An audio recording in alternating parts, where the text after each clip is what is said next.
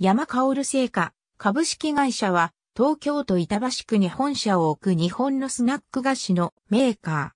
ー。同じ東京都板橋区に本社を置く小池屋と並ぶ東京都の城北地区に本拠を置くスナック菓子メーカーの一つである。ポテトチップスを主力商品としており、看板ヒット商品はわさビーフ。ポテトチップスは塩味やコンソメ味などの一般的な味よりも変わり種、色物と呼ばれる味の開発に力を入れており、過去に販売されたことのある代表的な製品には、ホタテバター味、納豆味、イカスミ味、タン塩レモン風味などがある。本社の屋上には、わさビーフの看板と、同製品から生まれた会社のマスコットキャラクター、ワサッチの人形があり、カンナナトーリア東部東上線の車窓からも見ることができる。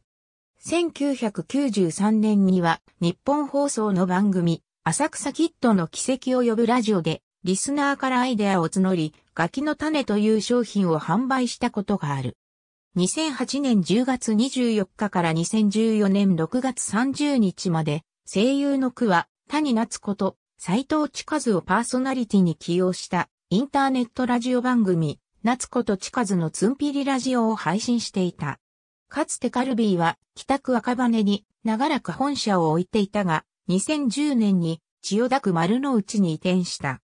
ねとらぼポテトチップス、岩下の新生姜味登場わさビーフの山、カオル製菓と岩下食品がコラボ株式会社エストリム、 VTuber のカード付きチップス、 VTuber チップスの販売が決定。PR タイムズ株式会社 PR タイムズ2021年7月31日閲覧ありがとうございます。